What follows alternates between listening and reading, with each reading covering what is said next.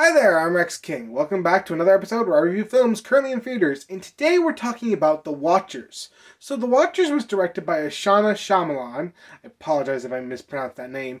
She's the daughter of M. Night Shyamalan, and this is her directorial debut. The Watchers follows a uh, woman played by Dakota Fanning who finds herself in these strange woods that isn't on any map anywhere because her car has broken down and she ends up basically finding these other three people who are also in this forest but they reveal to her that they are all stuck there being watched by these strange creatures every night inside this weird house with a two-way mirror. Um and pretty much it's about them trying to find ways to get out. Well also questioning what exactly these creatures are. So, I like the setup of this film. I really like the simple idea of these four strangers just stuck in this one location, trying to find a way to get out, with unknown creatures basically driving them to the brink of insanity. I thought that was a brilliant idea, and there's a lot you can do with that simple subject matter. And I really do you think they stuck the setup. I really like they uh, managed to, I think, capture what I wanted to see in the first few minutes of the film. I, I, I really think uh, I, they managed to play with your imagination, your head. You don't get to really see the creatures a whole lot. They you don't even really know exactly what they are for most of the movie you don't even know if they're really there or if it's just your imagination playing tricks at you a time. I, I really like that. However, at a certain point in the movie, it starts just going out of control and, and starts just like speeding by as quickly as possible to like torpedo itself toward the end.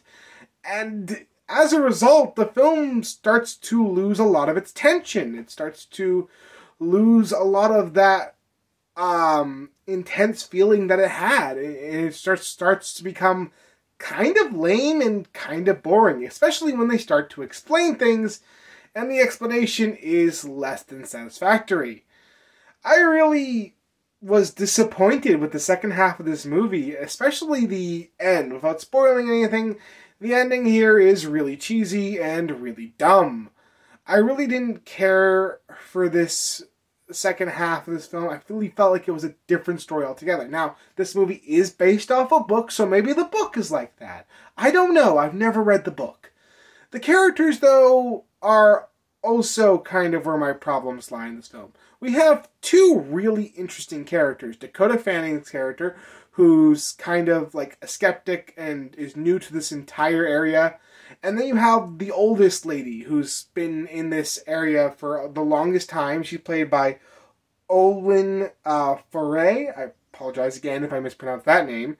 And she has all the exposition. She knows the most out of everyone. And I, I kind of like her character as well because she has a lot of intrigue around her. But the other two characters that we're stuck with for most of this film don't get a lot and aren't really that interesting in my opinion. And it would be one thing if they were just here to die, but they're with us for most of the movie. So, yeah, we kind of have to care about them on some level, and I just couldn't care less about these two. And then that's not to say their performances are bad. The performances of the actors who are cast in those other two roles are perfectly fine. Uh, Dakota Fanning is obviously the standout here. She does an amazing job of what she's given.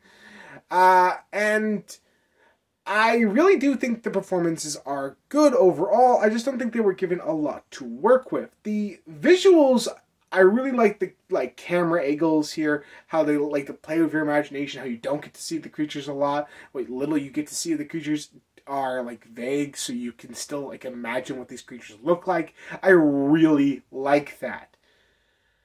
And I like that kind of keeps that feel for most of the film. And the music is really stellar too again, my only issues with this movie is that the second half just feels so rushed and out of place, and it just doesn't work. If this film had just stuck the landing, it would have been mind blowing. But as is, it's okay. I mean, again, I like the setup and I love the concept. It's just a shame that they didn't really stick that landing all that well. At the end of the day, I'm going to give The Watchers a 6 out of 10. I do recommend checking this one out, but maybe wait till it hits a streaming service that you already own. This isn't a film I would go out of my way to see. Anyway, that's my opinion on The Watchers. What did you think about it? Let me know in the comments below. And if you like this video, like, comment, and subscribe.